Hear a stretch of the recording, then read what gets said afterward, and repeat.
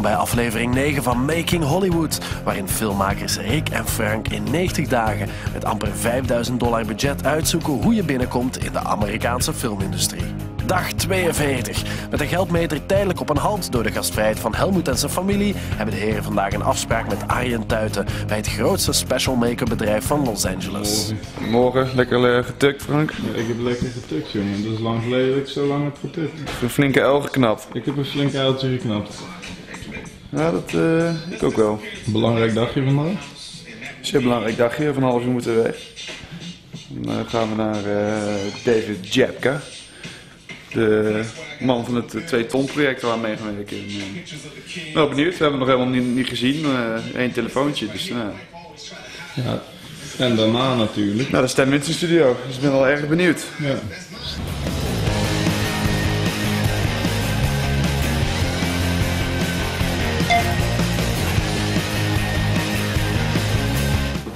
Voorgesprek geweest en ja, hopelijk komt er meer uit. Ze zeiden ja, we gaan Ice-T gaat erin zitten en Vanessa Williams komt erbij.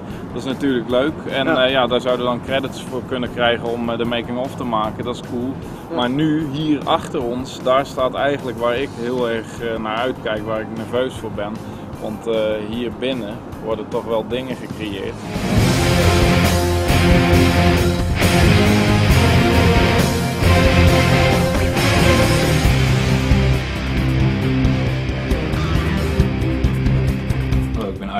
Arjen Tuiten, ik doe special effects make-up en, uh, hier in Hollywood. En uh, ik kom uit Friesland. Ben, uh, toen ik 19 was naar Amerika toegekomen. En uiteindelijk bij Stan Winston. En daar ben ik door gesponsord en nu werk ik hier fulltime. Altijd bezig geweest om mijn zusjes om te toveren, bloederige wonden en rare dingen.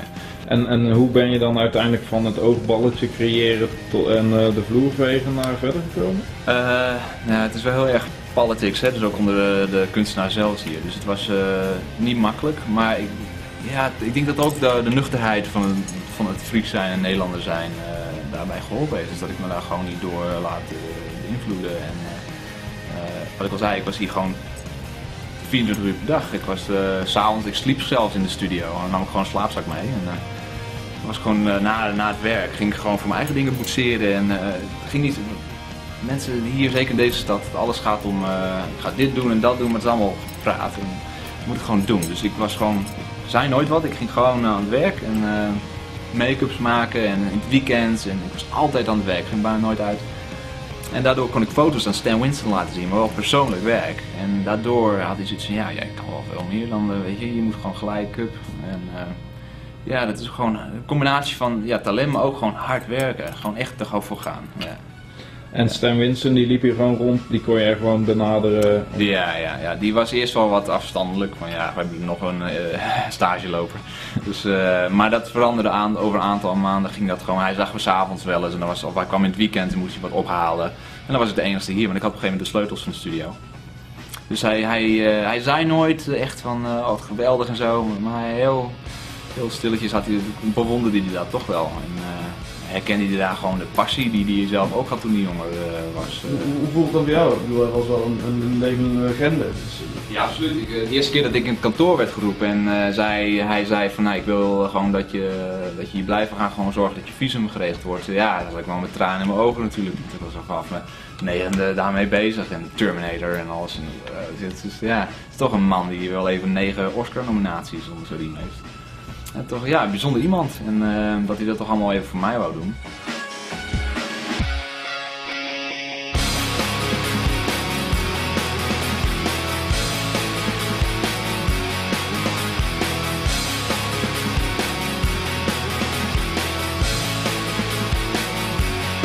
Kom op, plastic. Oh. Ja, het is wel heel woest allemaal, maar als je er dan op tikt.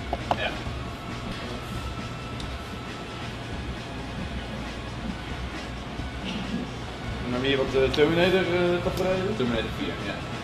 Deze draaien we allemaal echt. En, uh, Dus, dus al die mechaniek en zo erin wordt ook gewoon echt gecreëerd. Dat is Ja. niet zo dat er gewoon iets overheen een laagje 3D wordt ge... Nee, nee, dus vaak, eh, soms is het een combinatie, maar Ja. dit, eh, deze kan je bijvoorbeeld op, eh daar kwamen dan de special effects afdeling er weer bij, Hm. met ons. Dus eh die sluiten dat ding dan weer aan op een bepaald gas. Ja, En waardoor die wel echt eh, schiet. Alleen Schiet zit geen kogels ja, ja, alleen je hoort maar- het en blanks. ja, hij draait dus dan gewoon en ja, Hm. wordt helemaal bestuurd. Heel woest. En eh, staat hier ook nog een project wat we kunnen zien waar jij nu momenteel mee bezig bent? Eh, zijn dat al eh, geheime zones waar we... Ja, Thor mag ik nog eens laten ja. zien. Oh. Ja, ja, ja, ja. Het, erg, het is niet zozeer de studio, maar Ja. de, de productie daarboven, die zijn daar Ja. heel erg nerveus over. Ja. Ja. Ja, want Ja. we hebben hier al een paar afgeschermde stukjes gezien, zeg maar, die wij met onze ogen wel mochten zien. Ja, dan we, moet hebben toch- wat primeurtjes, Ja. maar ja, dat is alleen maar in het geheugen Ja, opgeslagen. ja, dan dat moet is je toch echt visueel. hiervoor naartoe gaan, zeg maar.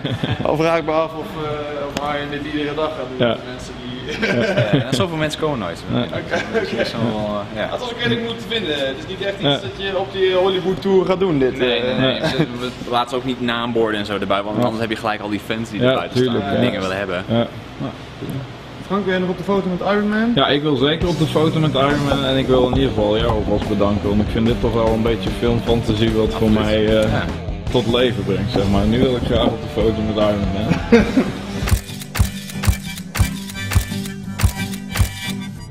Volgende week in Making Hollywood. Rick en Frank krijgen hun eerste echte klus als ze voor radio een commercial moeten monteren in ruil voor onderdak en beginnen de opnames van de Hollywood-productie Cross the Line.